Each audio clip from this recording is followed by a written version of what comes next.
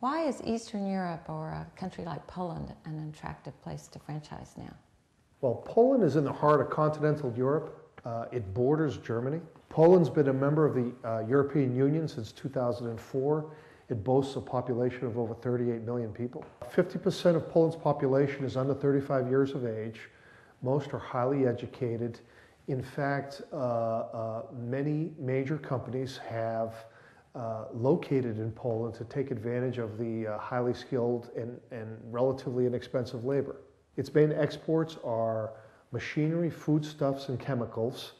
Uh, the average life expectancy, which is terrific, is uh, 74 years of age. Average GDP per person is uh, over $16,000, uh, according to the IMF.